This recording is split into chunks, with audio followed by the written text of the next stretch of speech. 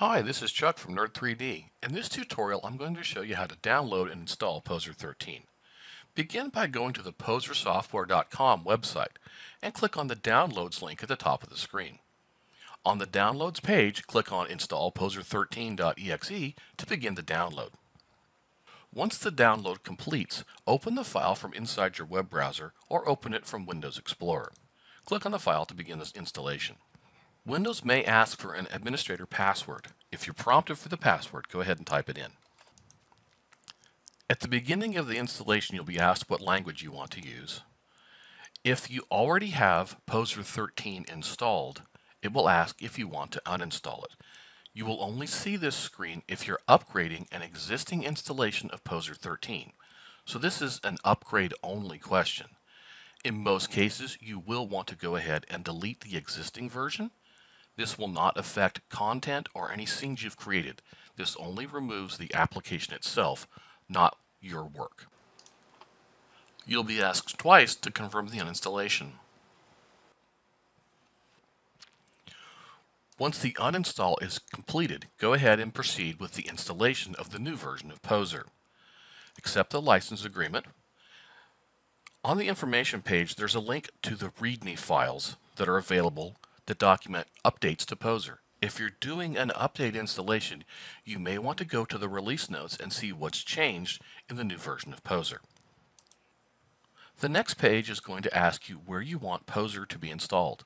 Poser has two main parts, the program itself and the content that Poser uses.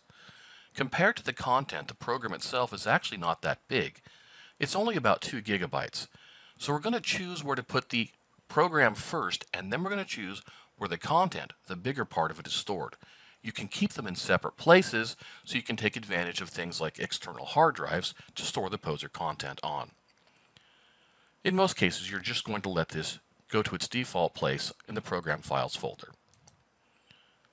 Select the components is almost always going to be a full installation, so just leave this set to full installation. Now comes what is probably the most important question during the installation where you're going to keep your content. As mentioned earlier, the content is the bigger part of Poser. If you have an external drive or an extra hard drive, you're going to want to use the other location option. I'm going to show you how to do that. I'm going to pick a alternate location and click next. Then I will browse for the hard drive or folder that I want to keep it on. And I have a separate hard drive that I'm keeping all of my Poser files on. Now it's important also that you remember this path because when you're doing an upgrade installation or an update installation, you'll always want to use the same path here that you used the first time you installed Poser. This is asking where you want to create the Start menu folder. The default is fine. If this is a new installation, you won't see the top half of this dialog.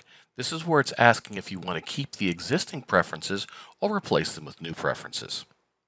If you're doing an update, you're probably going to want to use your existing preferences. That way you won't need to relink the libraries and everything else that you do to get Poser set up the way you like it.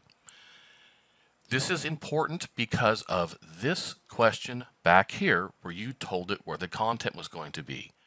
If you choose to reuse your preferences, you need to make sure that the content is installed to the same folder it was originally. The other two questions, creating your shortcuts, well, that's up to you. That's all the questions for the installation. Now it's time to let it do its thing. This is a good time to visit that link that contains the release notes and see what's new in Poser. Once the installation completes, it's finally time to launch Poser. You probably won't want to visit the website right now because, well, you were just there to get the download. Let's go ahead and launch Poser. The first time you launch Poser, you'll be asked to enter your product registration information. Enter your name, serial number, and email address to register the product. If you're beginning a trial, you can go ahead and skip this page. The easiest way to put your serial number in will be to copy and paste it from the email.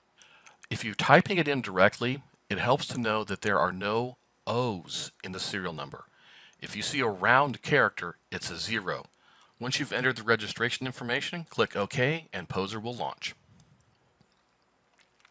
Once loaded, Poser will show you a launcher screen that allows you to choose which startup scene you want to use.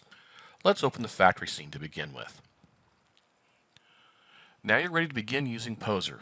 Thanks for watching and have fun using Poser.